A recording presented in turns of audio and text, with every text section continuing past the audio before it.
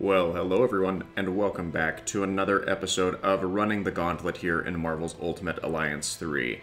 We are deep in the third and final phase of the gauntlets located within the Rise of the Phoenix saga, and we will be looking today at the level 140 Burning Vengeance Gauntlet run.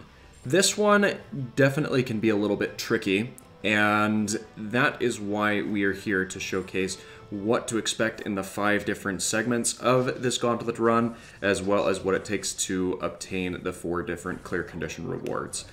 So let's jump into it. The first section here has us eventually confronting Miss Marvel, uh, and it is pretty straightforward. It takes you from the control room of Avengers Tower up to the first training room where there's the terminal that we need to take down. You can take some time and defeat all of these enemies. You've got more than enough time to. I am blitzing through it because I want to get through this as quickly as possible, and because of some of the other clear conditions that are required, you are going to need to run this mul gauntlet multiple times, so I'm not too concerned about not being able to hit these people. So here we are in this combat segment here. I do set up the uh, EP Siphon Ring from Thanos Infinite there, just to make sure that these opponents are not in my way. We take out the terminal and can progress right along into the final combat section, which is the living room area where we would normally find Wasp.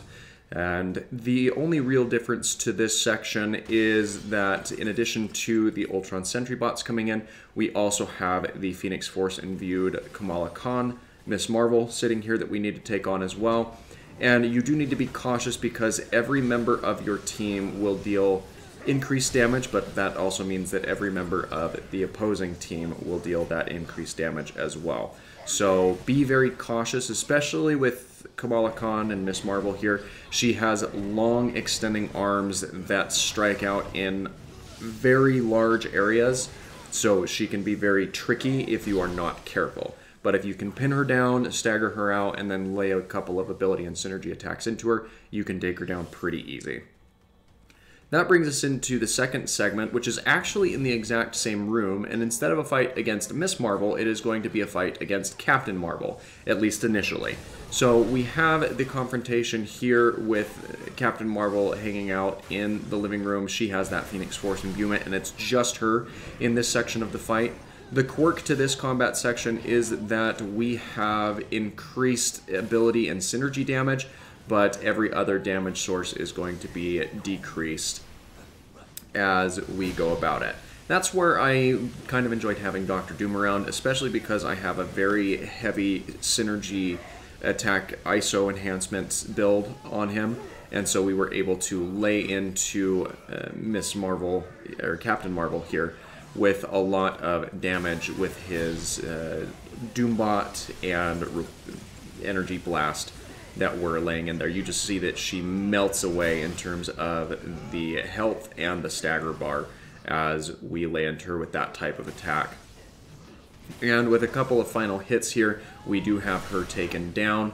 And that actually spawns in the second wave of this leg of the gauntlet, which is a confrontation against another version of Captain Marvel, so the exact same power set and everything, but this time she's actually in her Miss Marvel alternate costume. So that's really cool that that is something that's made available here.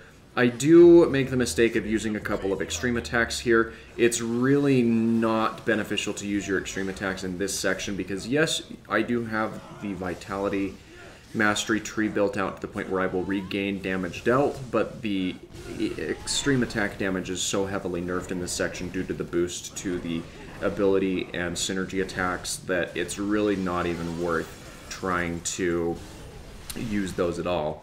But we can finish out uh, Captain Marvel here pretty easy once we get her taken down. You see I'm resorting again to the ability attack here with Doctor Doom and his Doombot synergy. So that really helps us take things on a lot quicker.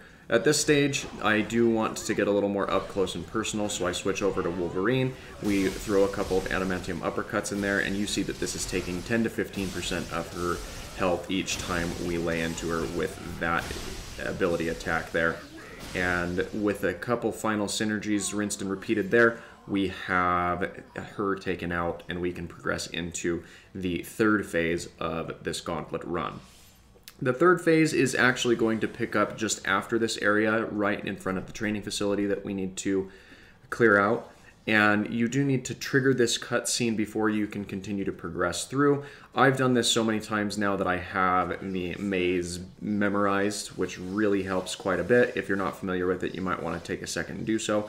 I do employ a similar tactic to what we saw before with Thanos Infinite here uh, in terms of setting up his EP and health reservoir that draws all of the enemies into it. That leaves me a very clear and open path to this first terminal and taking that down we can then backtrack through this maze and go up through to the last terminal in this area. Uh, took a bit of a left, a wrong left turn there, but all of the opponents that would otherwise take us out are pretty much down.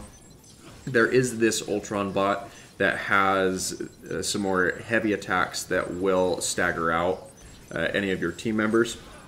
But as my teammates continue to focus on him, I finish out deactivating the terminal with Thanos Infinite, and then we move right along to the uh, last terminal that needs to be taken down, which is out here in the warehouse storage area. I employ an identical tactic here where I go ahead and put that siphon area back here away from the terminal and then we continue to lay into the terminal here as we take the terminal down, which then unlocks the final boss fight area. And this actually triggers a little bit earlier than it would normally. As we, Just as we get up this ramp, it will trigger you over to the helipad uh, where you have that final confrontation. And this time it's going to be against two versions of Iron Man. But as you see here, we just go ahead and detonate all of our extreme attacks as we have them up, and there's no nerf to them in this edition of the gauntlet run, and that's actually enough to take both of them out in one fell swoop, which makes things really nice and easy. I couldn't duplicate that with frequency, but it is something that can be done if you pull it off correctly. The fourth section of this fight is going to be a confrontation against three versions of Hulk. There's just the standard Hulk, there's the Gladiator Hulk, and then for some reason there is Red Hulk, but in Gladiator Hulk's outfit. I don't know if that's ever happened. Uh, it's kind of a cool thing to see that we have available though. And the thing you need to remember about this fight in particular is you have increased damage on all of your extreme attacks, which is good because they recharge faster and you can take out large amounts of health from these three Hulks that you're looking to take down.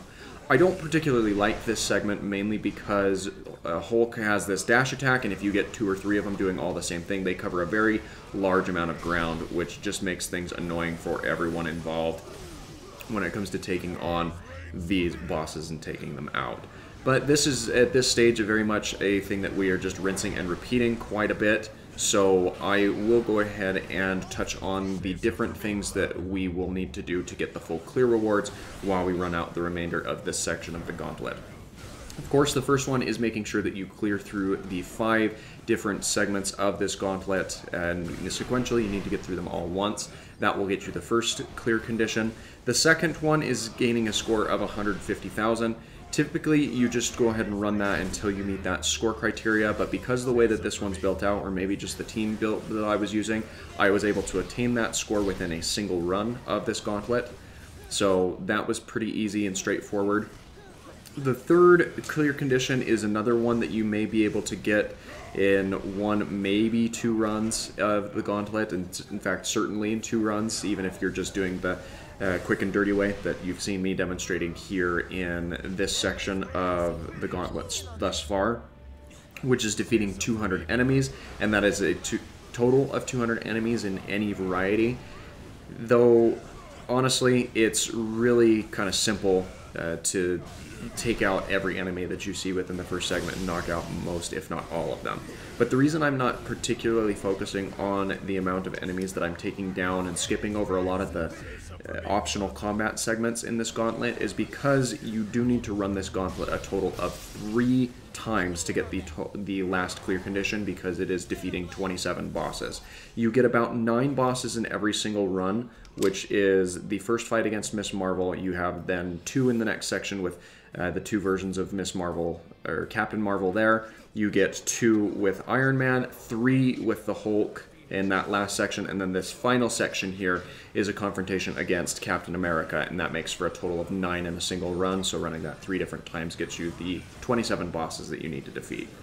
Now, Captain America, he is a bit difficult to take on here, as he does have that uh, Phoenix Force power imbuement, which really soups up a lot of his attacks. And additionally, he does like to use that Avengers Assemble ability to further amp up the damage of just the standard grunts and bots that you see uh, are spawning in during the course of this fight.